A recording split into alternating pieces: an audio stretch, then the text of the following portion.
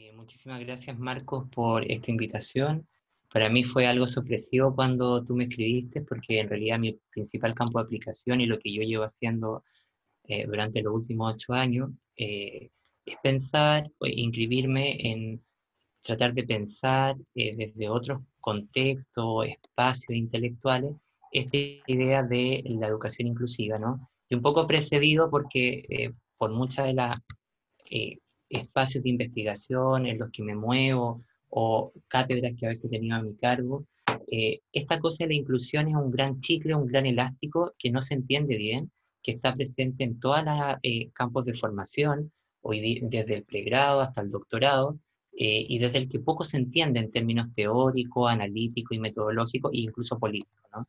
Y digo esto porque en realidad hay mucho reduccionismo para hablar de educación inclusiva, y pareciera que todo lo que se, eh, se pone en juego, se pone en valor, eh, dice relación con eh, significante, a mi juicio, y siempre hablo desde mi posición teórica y política, algo restrictivo, ¿no? Yo no sé si, creo que voy a hacer a lo mejor, me doy esta vuelta para, para decir que en realidad mi presentación no va a girar en torno a lo que mis compañeros, con toda su experiencia y conocimiento, fueron diciendo en torno a la interculturalidad, yo voy a inscribirme en el campo de la educación inclusiva, pero lo, quiero hacer dos advertencias preliminares antes de, de comenzar esta presentación, ¿no? La primera es que cuando hablamos de educación inclusiva no hablamos de educación especial, que eso quiero dejarlo sumamente claro, porque ese constituye el principal fracaso cognitivo que tendría la, la educación inclusiva hoy día desde el mainstream, desde lo que ratifican todas las políticas ministeriales, los programas de investigación, los programas de formación a nivel del el mundo en general. ¿no? Y la segunda advertencia es decir que la educación inclusiva como campo de conocimiento es un campo prístino, inexistente, en el que se cruzan los márgenes, se dislocan una serie de ideas, hay una serie de mutaciones, pero para llegar a esas comprensiones hay que reconocer cuatro principios fundamentales, ¿no? o cuatro problemas fundamentales que tiene la educación inclusiva.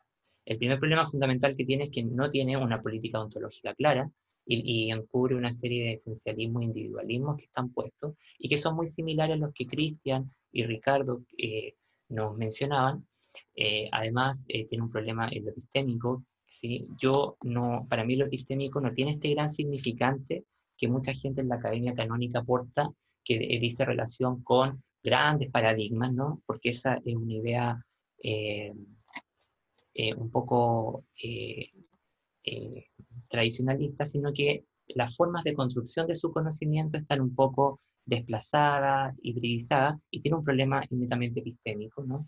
En su base epistémica, también tiene una ausencia de método, y tiene un problema eminentemente morfológico que dice relación con las categorías que fundan este campo, ¿no? Entonces, si entendemos o ponemos en relación estos cuatro grandes obstáculos, vamos a concluir que este es un campo que en realidad es tierra de nadie, del que muchos proyectos de conocimiento se cruzan, pero que en la práctica poco o nada está articulado, traducido, ¿no?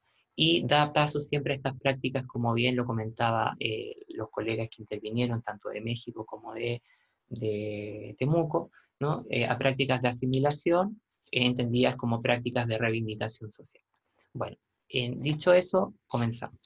Bueno, no sé si por el tiempo, porque eh, ya estamos voy a tratar de, eh, voy a alcanzar a ver todo lo que es mi presentación, pero en un primer momento me gustaría que pudiéramos puntualizar, pensar, inscribir esta reflexión en términos de una inclusión como fenómeno estructural, porque no tiene otra naturaleza, ¿no es verdad? Y eso nos invita a pensar de otro modo las coordenadas políticas, microprácticas y, y de las espacialidades que convergen tanto en lo político, en lo cultural, en lo social, y también pensar por qué la educación inclusiva podría o sería una teoría sin disciplina, ¿no? Y por otro lado, eh, también eh, eh, es, pensar, ¿no es verdad?, qué elementos epistemológicos se cruzan en él, ¿sí? Bueno, como tengo una relación un tanto especial con Rudolf Steiner, ¿no? por mis campos de adherencia, nunca me gusta comenzar una presentación sin colocar esta cita que para mí es reveladora y en mi trabajo intelectual lo es, cuando hice relación, esta cita de 1910, ¿no? Steiner es singular porque pasa lo que pasa con todos los grandes intelectuales, ¿no? Lanzan una idea y en su momento esta idea es ridiculizada, es fetichizada, es ignorada, incluso excluida, de, y, pero Steiner, al igual que muchos intelectuales, genera una revolución en la comprensión de la naturaleza humana. Y en este sentido, si nosotros vamos a hablar de educación y le vamos a agregar el calificativo inclusiva, entonces tendríamos que remontarnos a la, a la, a la inmensidad que involucra la naturaleza humana. ¿no? Si aquí hubiera algún filósofo, eh, tal vez va a cuestionar el concepto de, de, naturaleza humana, pero en mi entendimiento, ¿no? en mis formas de imaginar esto, tiene que ver justamente con entender cómo estamos constituidos los seres humanos. Y como yo inscribo mi trabajo en el campo del educativo, esa es una de las máximas fundamentales, cómo estamos hechos los seres humanos, y es la gran deuda que los sistemas educativos y nosotros los educadores, producto de la investigación, tenemos como con respecto a esto, ¿no? Entonces, aquí hay una cosa muy porque dice, las ideas reformadoras de nuestra época solo podrán resultar fecundas y prácticas si se basan en esa profunda investigación de la vida humana. ¿no? El mensaje que Steiner nos plantea es que un poco esto refleja hace más de un siglo la crisis que hoy día tenemos en materia de educación y que no es nada nuevo por lo demás, porque viene de una cosa precedida por lo menos de cuatro décadas anteriores, ¿no? y nos dice que en, vez de preocuparnos tanto por las institucionalidades, en vez de preocuparnos tanto eh, por discursos que parecen que crean justicia, pero en la práctica nos dejan donde mismo, sería interesante entonces poner en tensión dejar de preocuparnos tanto por las reformas ¿no? y avanzar más hacia las transformaciones situadas, ¿no es verdad?, hacia entendimientos complejos y imaginaciones desafiantes que piensen la intersección entre lo estructural, lo social, lo pedagógico, ¿no? Porque si hablamos de educación o también hablamos de interculturalidad, hablamos de fenómenos eminentemente sociales y políticos. Y en esa intersección se, se amalgaman casi todas las discusiones que podemos tener, ¿no? Entonces, de alguna manera, el mensaje es un poco este, eh, y por eso eh, que en un primer momento me gustaría eh, que pudiésemos pensar el por qué y el para qué de una educación inclusiva. En general, desde el centro de investigación que yo dirijo, y lo que hacemos a nivel latinoamericano preferentemente, tiene que ver con eh, entender la educación inclusiva como un proyecto político. ¿no? Y esta idea, eh, que de alguna manera viene a, a deslindarse de la política, ¿no? Eh, y ahí podríamos movernos en el entendimiento de Chantal Mouffe, ¿no? para entender que como proyecto político, a su vez como proyecto ético complejo, va a tratar de interrogar, como bien aparece en la presentación, la temperatura ética y la fibra de nuestra época. ¿no? Y esto un poco pone en tensión dos cosas, pensar las formas de relacionamiento que tenemos en la trama ciudadana y los dispositivos de producción de la subjetividad. Porque hoy día pareciera que, que, la investigación educativa y en todo el continente hay un gran círculo de reproducción en el campo de la educación inclusiva, y, pero siempre asociado a lo mismo, a la inclusión, que, a lo mismo, a la inclusión que nos vuelve a implantar en la estructura educativa o las estructuras sociales gobernadas por ciertos formatos del poder, ¿no es verdad?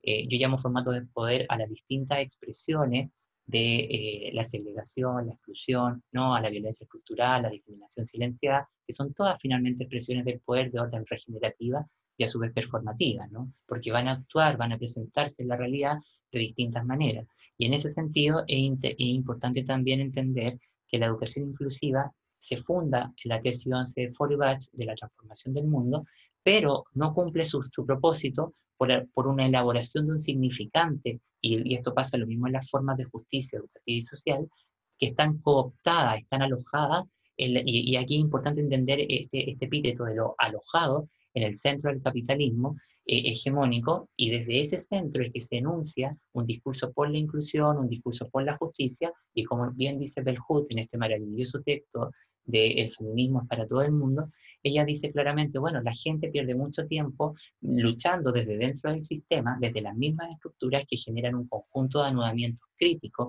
imperceptibles, que finalmente restringen la fuerza transformadora de la justicia. ¿no? Entonces, en ese sentido, la inclusión también la entendemos desde acá como un proyecto de conocimiento en resistencia que va a estar motivado por la preocupación del deseo de la justicia social y la transformación progresiva, pero entendiendo que los proyectos de cambio social o los proyectos de transformación social ya están agotados en su misma función. Eso pasó con el socialismo, eso pasa con el comunismo, pasa con algunos proyectos de estudio de la mujer, con algunos proyectos de estudio de género, etc. ¿no? Y la inclusión tampoco está ajena a ese agotamiento, porque si tuviéramos que pensar, esta idea de la inclusión hoy día en términos tanto críticos no tiene nada nuevo, porque finalmente el calificativo inclusiva ha circulado por la estructura académica con otros nombres, pero que ha tenido los mismos objetivos de lucha, ¿no? Entonces, de alguna manera, aquí la pregunta sería, ¿cuándo comenzará lo ¿no? Y aquí habría que eh, retomar, perdón, nuevamente esta insistencia que yo digo de que todos los programas de cambio han agotado su función histórica, devenida en un falaz, en una ambigua forma de reformismo social y de radicalismo crítico, ¿no? que reafirma este, este interés banal de las sociedades por el cambio, por la violencia fundacional de lo nuevo, ¿no? entendiendo justamente o reforzando esta inclusión, como yo denomino más bien liberal, ¿no? donde se, se, se, imbrican una serie de esencialismos, liberalismos o individualismos que están eh, eh, funcionando eh, dentro de la, desde la propia investigación, con un efecto siempre multicategórico, con población en cuota, pero sin pensar el funcionamiento de las estructuras sociales, las espacialidades educativas y también culturales, políticas, ¿no? Y aquí hay una clave interesante de pensar cómo funcionan las estructuras sociales, escolares, en, eh, al momento de hablar de inclusión, porque el énfasis está puesto que hay que abrir las puertas de la escuela, pero por ley los niños todos en Latinoamérica están en, tienen que estar en la escuela. Ahora, el problema es que no, tú aumentan, si tú no aumentas el número de niños matriculados en la escuela, no es sinónimo de, inclusión y equidad.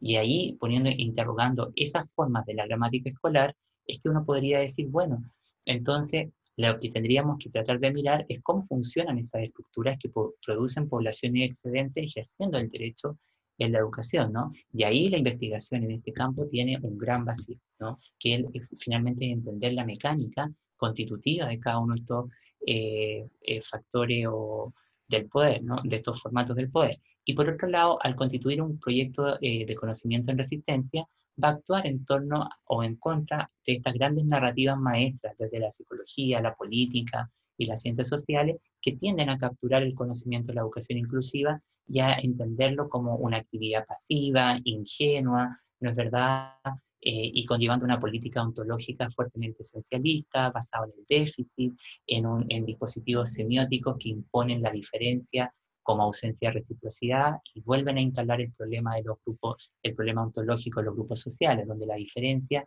termina siendo cosificada a lo que todos ya ustedes han dicho el día de hoy, eh, de identidades restringidas, alteridades acríticas, ¿no es verdad?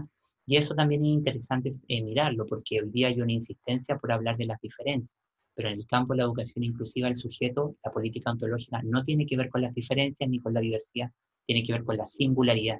Y la singularidad posee un potencial político subversivo, porque rescata lo propio del ser, pero no lo cosifica. ¿no? En cambio, las diferencias y la diversidad son conceptos que tienen una fuerza semiótica y unetos mucho más poderoso en términos de su significante en, la población, no así, la, no así la, singularidad. Entonces, si nosotros seguimos insistiendo en esta idea de las diferencias, siempre vamos a estar entendiendo en estos efectos de segregación, de apartheid, ¿no es verdad?, de devaluación, a partir de, lo que, de la ausencia de reciprocidad. Entonces, ahí también habría que poner en tensión esa, esa forma semiológica, ¿no? Y lo nuevo no solo, también, no solo no encaja, ¿no es verdad?, sino que activa, eh, en muchos casos está generando profundos eh, rechazos a nivel de cierta estructura. Bueno, en este sentido, entonces, eh, lo que tendríamos que pensar desde el campo de la educación inclusiva sería entonces ver la creciente demanda de las singularidades subjetivantes o de autonomía, que por, por un lado vienen a, pensar, a pasar desde una ontología sustancialista, ¿no es verdad?, como la que hoy día está presente, de, asociada al déficit, al esencialismo, a la raza, a, la reproducción de ciertos códigos coloniales, como todos los que los demás compañeros han mencionado, pero también a, traspasar entonces esa barrera y llegar a una ontología de orden materialista, como nos va a decir Ray y, y, que está centrada en el devenir, ¿no es verdad?, en la producción infinita del ser, ¿no? en, ese, en ese ente de variabilidad permanente. Y eso, de alguna manera, pone en jaque las formas de construir justicia, desde el plano de la simplicidad, como los va a decir Walser, entonces mejor apostemos por una, por una justicia de carácter más compleja, ¿no?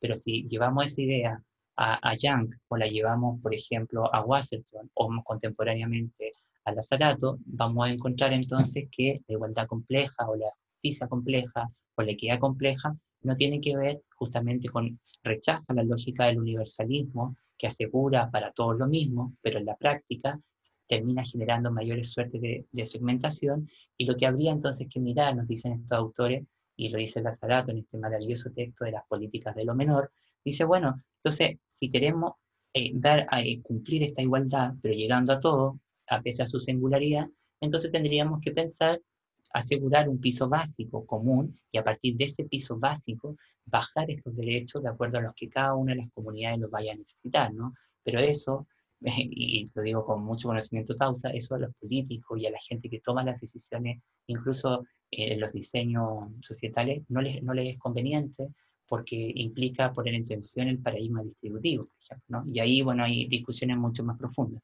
Pero también eh, aquí estas formas eh, van a decirnos entonces que el individualismo va a funcionar como un estándar deseable, mientras que se va a reproducir o se va a imbricar en ciertos logotipos, en ciertas marcas, ¿no es verdad? Y por eso que la relevancia de una filosofía materialista, nómada, que está en permanente devenir, en constante variación, va a, va a funcionar como un efecto alterativo, disruptivo de la realidad. Yo siempre en mi trabajo hablo desde de abandonar el, el, significante de la, de la, alternativa, porque ya todos los movimientos alternativos hoy día en estatus asociativo, en difusión, son como prácticamente movimientos hegemónicos, que solamente se contraponen a, la gramática normativa. Pero lo alternativo, justamente lo que hace en, una inspiración de Leuciana o Guattariana es remover, ¿no es verdad?, la estructura y, y, salirnos de esas espacialidades para producir algo completamente nuevo, ¿no? Pero esa idea de tercer espacio eh, tampoco, no es un espacio eh, como que surge de forma lineal, ¿no? sino que surge en lo nómade, eh, en un futuro justamente imaginable, impredecible, inacabado, ¿no es verdad? Bueno, y, todo esto nos ayuda entonces, va a ser importante centrarse entonces en la noción de, de de las pasiones políticas, ¿no? Y desde este punto de vista entonces, la subjetividad nómada va a implicar un enfoque materialista también de la afectividad y una marca no esencialismo del, vitalismo.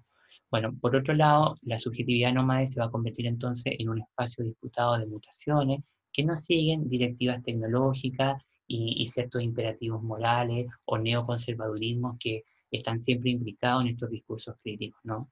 Entonces, lo que aquí uno tendría que preguntarse es cuáles son las alianzas eh, opresivas o las presiones, ¿no es verdad?, que hacen cierta alianza investigativa con proyectos de conocimiento destinados a reproducir la desigualdad. Y ahí es lo que uno tendría que poner en tensión, ¿no? Cómo estos proyectos de conocimiento generan cadenas en los que van atrapando eh, cierta o restringiendo el poder de estas propuestas, ¿no? Y, en función de esto, la subjetividad no, no, va a ser entendida unitaria, ¿no es verdad?, sino nómade, dispersa, fragmentaria, ¿no es verdad? O como yo siempre digo, eh, diaspórica, ¿no? Eh, entonces, de alguna manera, desde este punto de vista, son, es algo cinético, ¿sí? Bueno, en ese punto de vista, entonces, eh, si tuviéramos que pensar qué tipo de ética, antes de llegar a lo epistémico, requiere la, educación inclusiva, lo primero que vamos a, tener que remitirnos a los aportes de Braidiotti y también de Chela Sandoval con este texto de la metodología de conciencia de oprimido, ¿no? Y ahí, de alguna manera, en Braidiotti vamos a encontrar esta, necesidad de buscar respuestas reactivas, pero también alternativas a la racionalidad político-ética que sustenta el, carácter liberal e individualista que, hoy día articula el discurso de la inclusión, ¿no? Este respeto ingenuo, esta pasividad, porque la inclusión es sinónimo de producir otros mundos, la inclusión es un signo de alteración social, es un signo que es eh, heterodoxo, que lo queremos decir, pero a la vez es también un, es un acontecimiento, porque irrumpe, nos saca de las formas convencionales y de alguna manera pone en tensión o busca deshacerse eh, deshacerse de estas formas de, de, liberalismo esencialismo, ¿no? Y, de alguna manera va a poner en tensión en la concepción del hombre estas fórmulas canónicas del humanismo. Por eso que lo correcto ontológicamente en el caso de la inclusión sería hablar de un poshumanismo o de una política ontológica eh, de lo menor, de la múltiple singularidad o de la revolución molecular. Por tanto, en, estos grandes entendimientos, la inclusión va a ser el deseo crítico de producir otros mundos de posibles, ¿no?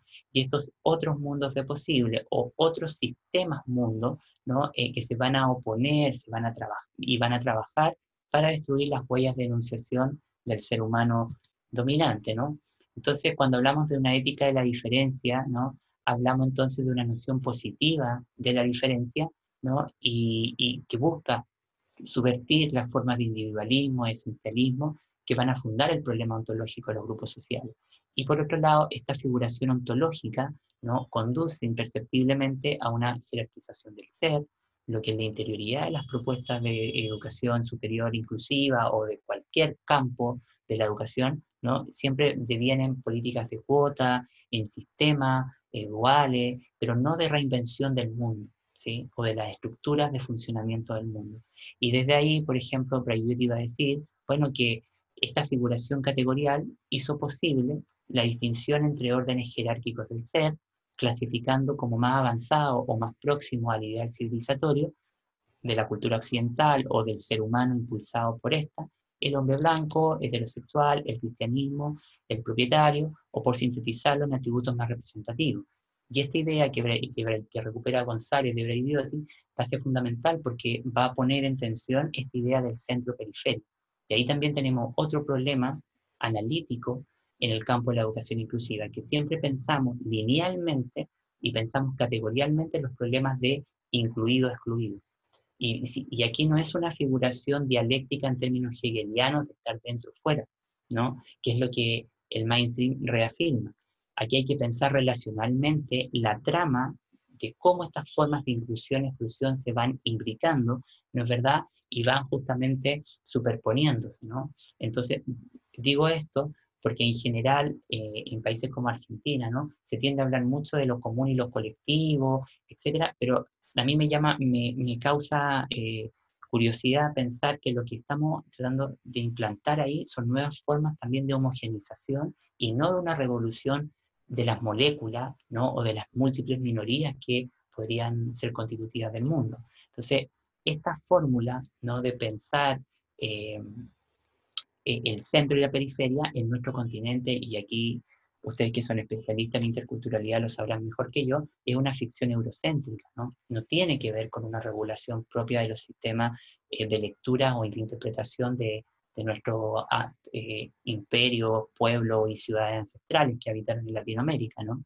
Entonces, esa idea de poner en tensión la idea del margen y el centro es una invención eurocéntrica que justamente restringe los entendimientos complejos sobre la desigualdad, la injusticia, la redistribución, etc.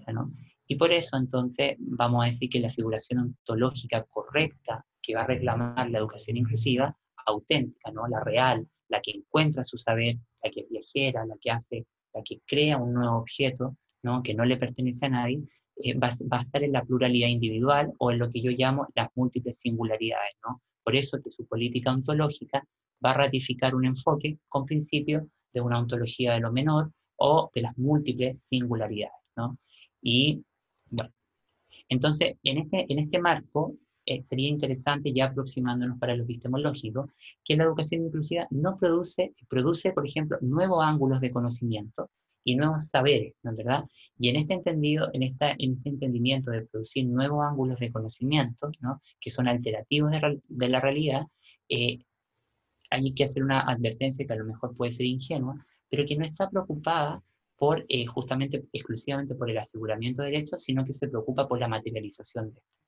Y digo esto porque hoy día estamos aquí enunciando eh, la necesidad de ciertos derechos, pero en un discurso de educación inclusiva consciente, crítica, revolucionaria o alterativa, ya, no, ya tenemos la conciencia consolidada. Lo que nos falta es, la implementación. Y aquí es donde esto se cae, este discurso. Porque al ponerlo en los canales prácticos, en los canales de participación ciudadana, no están, eso no, esa ingeniería esa arquitectura no están identificadas, no están ideadas, no están proyectadas, ¿sí?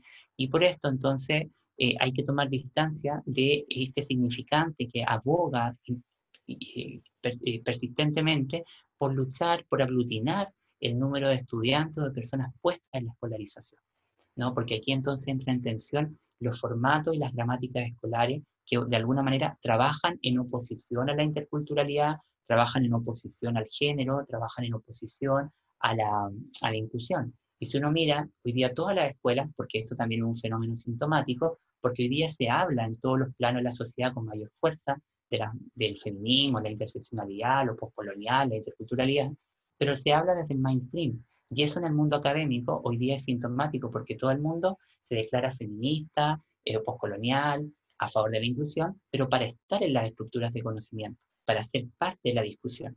Pero cuando uno ve lo que se escribe, ve las actuaciones y los marcos de valores, ahí tú ves una correlación, una distancia tremenda. Y eso es preocupante, por ejemplo.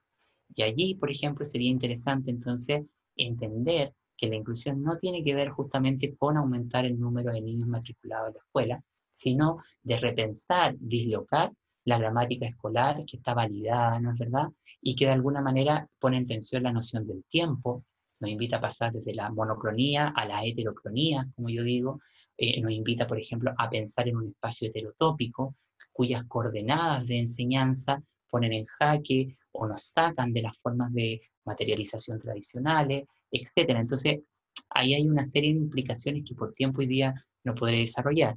Pero también sería importante entonces en estos propósitos finalísticos que la inclusión tiene, cuando uno la piensa en términos epistémicos, no aparece la idea de crear un nuevo modelo, sino que lo que hace es un efecto, un doble vínculo, como diría Spivak, ¿no? Un doble vínculo que habitan dos cosas. Por un lado, aparece, uno ve que epistemológicamente la inclusión, si uno tuviera un espejo, ¿no es verdad? La inclusión estaría abajo y la educación arriba, y genera un efecto de rebote. Por lo tanto, eh, hablar de inclusión es simplemente hablar de educación, ¿no? Entonces, en eso, en términos heurísticos, el efecto es un efecto de paroxia, ¿no? Como un alter ego. Lo que hace es actualizar, es, eh, constituirse en un mecanismo recognoscitivo de la propia teoría educativa contemporánea, y por otro lado, justamente deslindar, actualizar estos campos de conocimiento ¿no? y dotarlos también de mayor sentido. Y por otro lado, hay una transformación alterativa de la realidad, como ya decíamos, eh, producir otros mundos de posible, y también eh, esta idea de generar un conocimiento, un proyecto de conocimiento en resistencia y una estrategia analítica destinada a producir otros ángulos de visión, ¿no? Ahora, el calificativo inclusiva es súper interesante porque es, eh, tiene 11 características eh, heurísticas y una de las más poderosas es que esculpe la realidad, pero también tiene el principio de audibilidad. ¿Y qué es la audibilidad? es un conjunto de coordenadas que solo con enunciar eh, la palabra genera o moviliza un estado, un neto en la, en, la conciencia de cada uno de nosotros, ¿no? Entonces, desde ese punto de vista, entonces, el, el adquirido inclusiva no va a actuar como un elemento paratáctico, ¿no? Que está puesto ahí por estar, sino que va a actuar como un elemento de dislocación, disrupción, de, de movilización, que nos va a permitir recuperar lo más intrínseco de la propia práctica educativa, ¿no? Porque otro error que en las casas formadoras se comete es pensar, o en los congresos, es decir, que un profesor inclusivo, por ejemplo, ¿no? Yo lo digo esto con mucho pesar, ¿no? Porque me he dedicado toda mi carrera investigativa a este campo, pero eh, en el caso de ustedes de la interculturalidad hay discusiones mucho más críticas, ¿no? Entonces aquí en el campo de la inclusión eh, siempre se tiende como a pensar que el profesor inclusivo es el que respeta a todos los estudiantes, el que acoge, abre oportunidades, pero cuando uno se, detiene a mirar esa, a esas afirmaciones, tú te das cuenta que eso no tiene nada que ver con la inclusión, tiene que ver con lo propio, con lo medular de la práctica y del hacer docente, de la, de, la constitución de, de, nuestro oficio de pedagogo. O sea, alguien que de alguna manera eh, entiende su, su, profesión, entenderá que esta, esta, esta, idea de ampliar oportunidades, de respetar las diferencias es algo inherente a, nuestra, nuestro trabajo, ¿sí? está directamente constituida en la ética.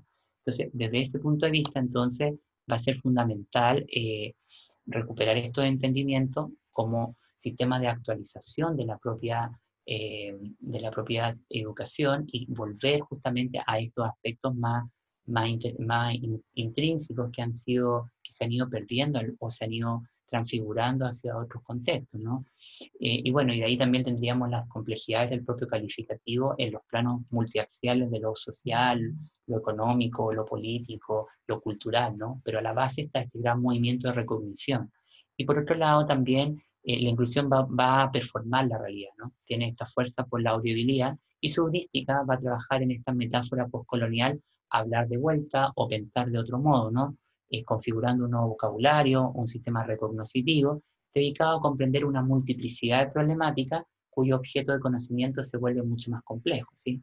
Entonces, en este marco podríamos decir entonces que hoy día solamente la inclusión puede ser entendida en términos de una metáfora, no de un paradigma, ¿ya? ni tampoco de una metodología. ¿Por qué una metáfora? Porque hoy día es una explicación que circula con gran fuerza en distintas latitudes del mundo es empleada por distintos colectivos de personas, pero que entra en contacto con ciertos aspectos constitutivos de eh, la lucha por el cambio social. Pero entonces lo que debiésemos un poco pensar para evitar que este significante a veces sea tan restrictivo y hacer carne esto en, la vida, en los formatos de vida de las personas, entonces es, pensar que otras cosas se esconden bajo esta fórmula heurística, epistémica, ¿no? Entonces, desde este punto de vista, para mí la, la inclusión hoy día está en fase de descubrimiento.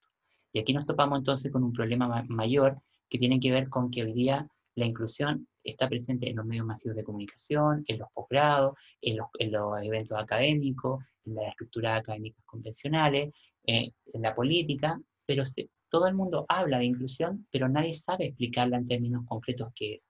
Y esta pregunta, por saber explicarla en términos concretos, es lo que eh, de aquí, desde, desde, el centro que yo dirijo, llamamos el índice de singularidad.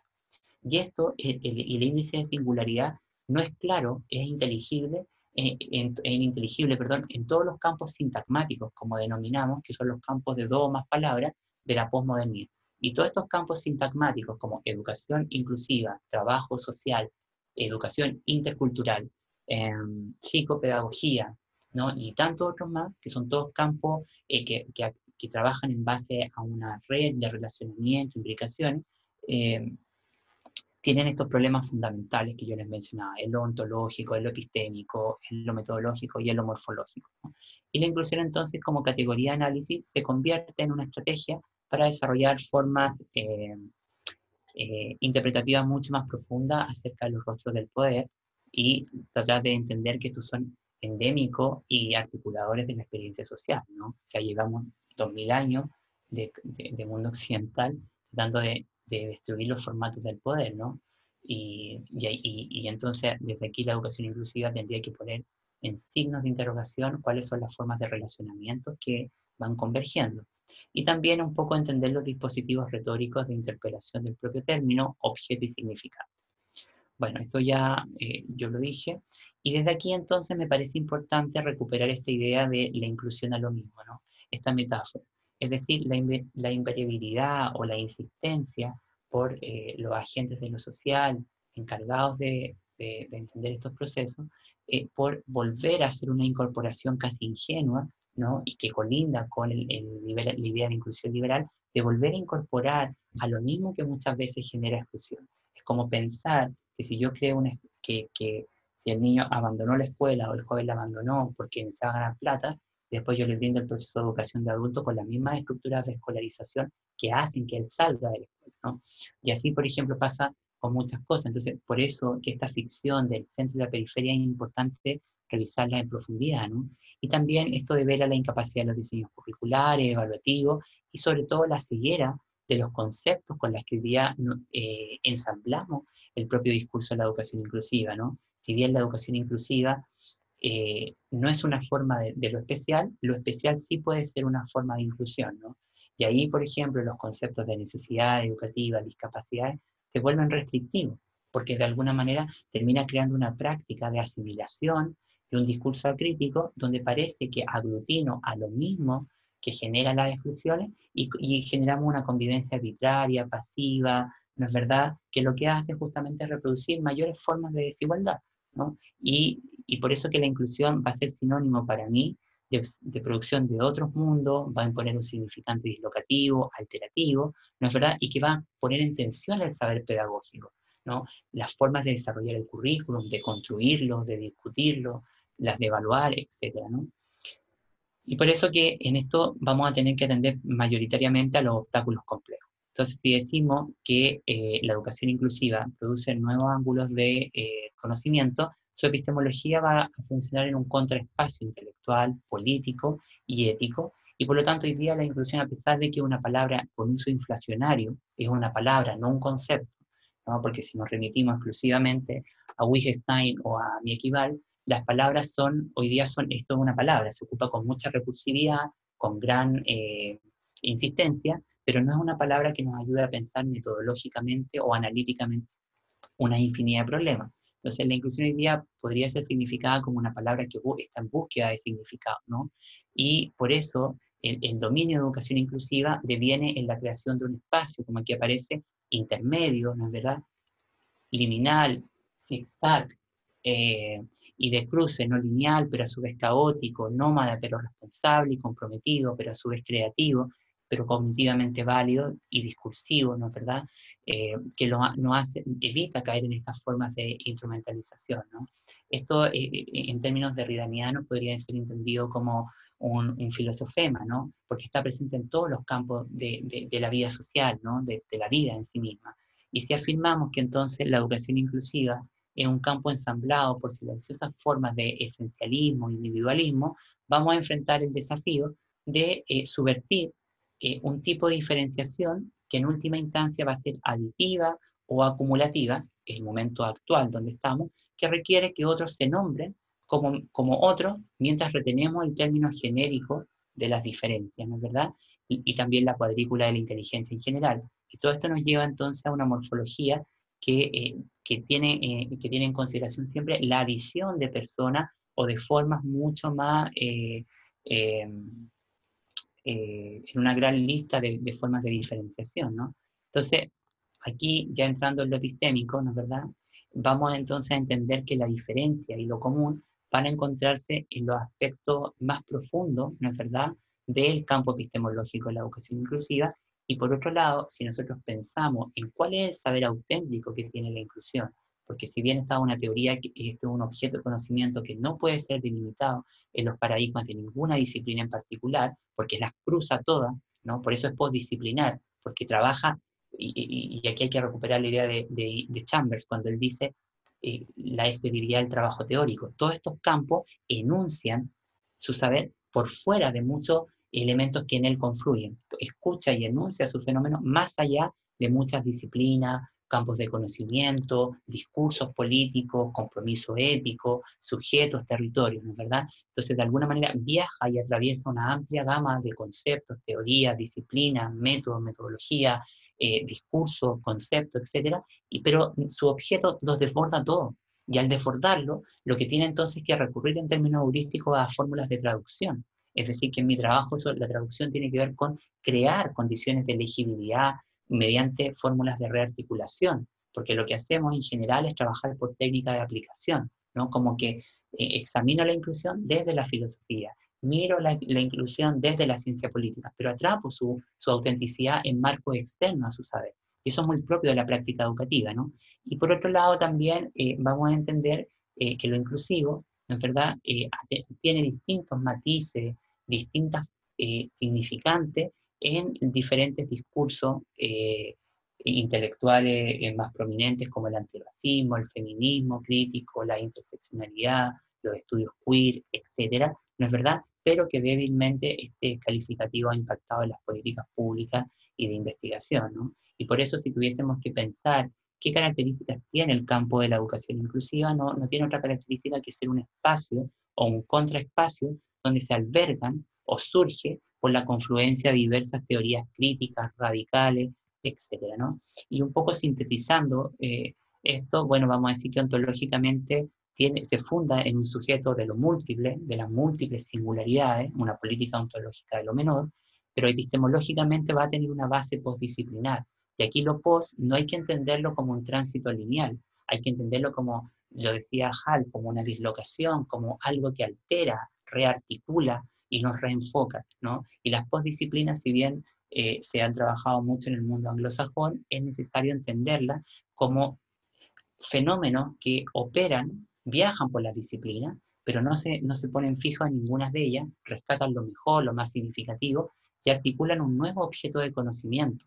Por lo tanto, si la base epistemológica eh, es postdisciplinar, lo que tendríamos que pensar entonces es que hay una serie ¿no? Eh, de, coordenadas epistémicas, heurísticas, que producen un objeto, pero que a su vez no se circunscriben a ninguna práctica teórica y metodológica en particular. Es una estructura de conocimiento abierta, inacabada, ¿no? funciona en base al pensamiento de la relación, al movimiento, forma una constelación, entendiendo las constelaciones como movimientos desordenados, pero a su vez articulados.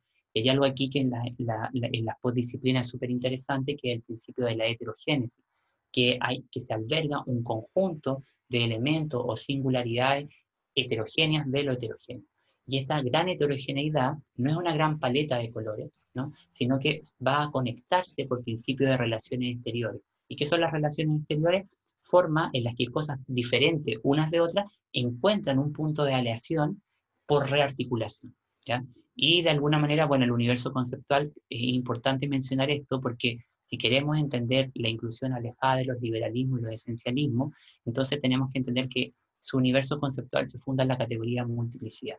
Porque todos los conceptos como otredad, diversidad, diferencia, e, heterogeneidad y, lo que sigue, eh, surgen del centro crítico de la multiplicidad.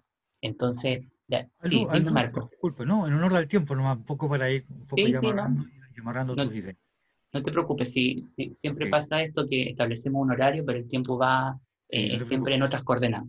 Eh, por lo tanto, eh, desde ese punto de vista, entonces, lo, más complejo que podríamos mirar en, sus formas tiene que ver con lo metodológico. ¿no? Yo no quiero que quede la idea con, con ser desde la radicalidad de decir que no tiene método, porque a lo mejor tiene un método, pero que hay que inferirlo.